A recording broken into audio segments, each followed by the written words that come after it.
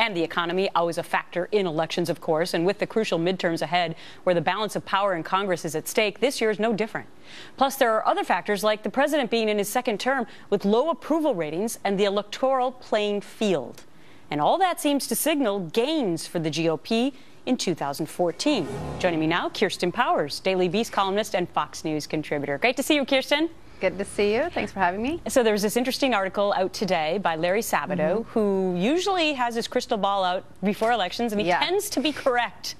yeah. So what do you make 98% of this? 98% of the time. 98% of the time. What yeah. do you make of his predictions that it's going to be all GOP in 2014?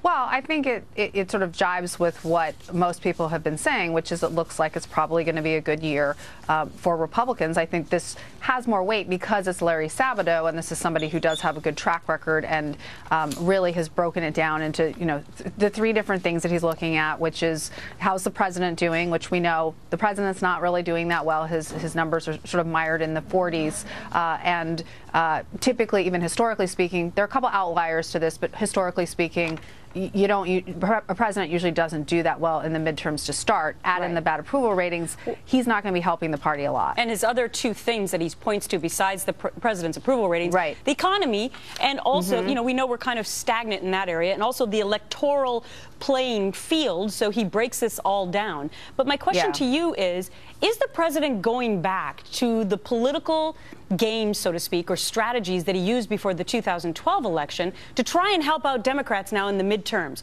Going back to these buzzwords of fair share and millionaires and billionaires, and, and people should be on equal footing.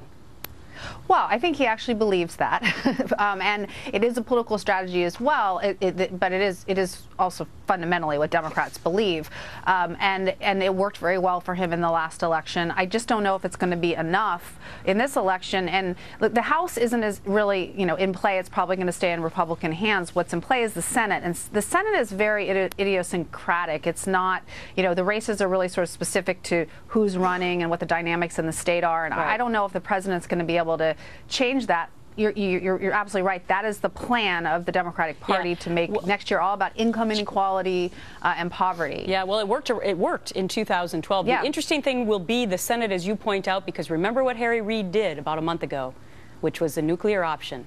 And if Republicans suddenly get in control of the yeah. Senate, it could be revenge with a capital R. Uh, Kirsten Powers, great to see you. Thanks so much. All right. Thank you.